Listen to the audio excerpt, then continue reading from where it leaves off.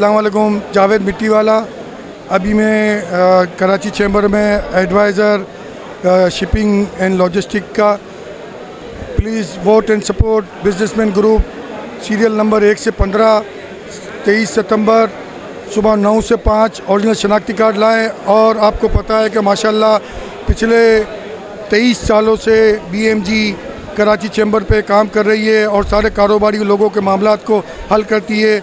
मज़ीद आप हमारा साथ दें ताकि हम लोगों को आगे से आगे मज़ीद इनके जो मामला हैं इस्पेशली जो पाकिस्तान की मीशत और मामला हैं, उसको हल कर सकें। शुक्रिया।